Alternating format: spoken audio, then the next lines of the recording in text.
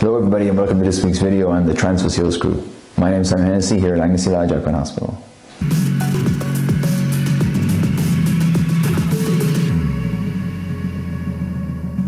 So the transphyseal screw is a normal cortex screw that's placed across the growth plate of the bone associated with an angular limb deformity immediately above the joint that's involved in this angular limb deformity to act as a handbrake on the longer side of the bone to allow growth to be reduced on this side of the bone, okay, allowing the opposite, shorter side of the bone to catch up and give us a straight alignment through the entire limb and essentially remove the angular limb deformity that is present.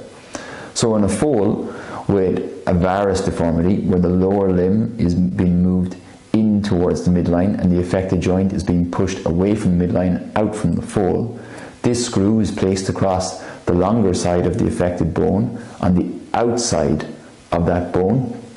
to reduce growth there and allow the inside of the bone to catch up. For valgus deformity, where the lower limb is essentially away from the horse's midline and the affected joint is being pushed towards the horse's midline, the screw is placed on the inside of the bone to slow growth there and allow growth to catch up on the outside of the bone and achieve a straight conformation. Screws are left in place until the foals achieve a straight conformation and then they are removed. The screws maintain their handbrake function while they're in place and potentially for a few days post removal, but generally speaking once they are removed normal growth will return.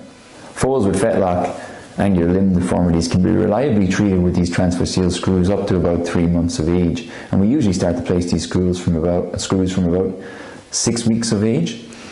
some improvement in angular limb deformities can be achieved with these fetlock angular limb deformities can be achieved up to about five months of age.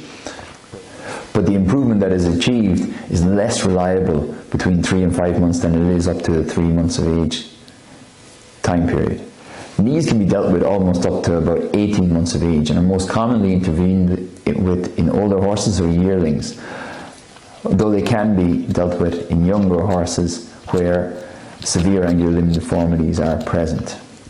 Infection is rare, rarely associated with these screws, but when it does occur, it can lead to infection in the bone, and so prompt identification and removal of the screw is often required. Other complications with the screw can include crushing of the bone that can lead to a catastrophic overcorrection and is most commonly seen in older horses or yearlings, and thankfully is quite a rare complication even at that. We will look at that and the placement of screws for angular deformities in yearlings next time. See you then.